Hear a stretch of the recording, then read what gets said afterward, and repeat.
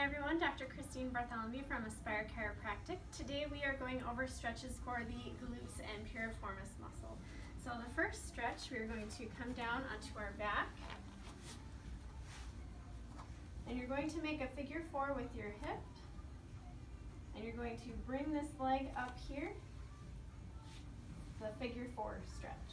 So you're pulling in and really stretching those glutes and lean your head back relax your upper back. So you should be feeling that stretch right in here. Okay, then the next stretch we're gonna do, you're gonna bring that leg over to the side and then let your arm hang over on this side. So you should be able to feel this from here all the way up. Sometimes you can even feel it in the shoulders, so just let your body relax. And that's it for those two stretches, so about 20 to 30 seconds per stretch and on both sides. So you can do those stretches every single day to help increase the strength and flexibility within your glutes and pelvis and piriformis.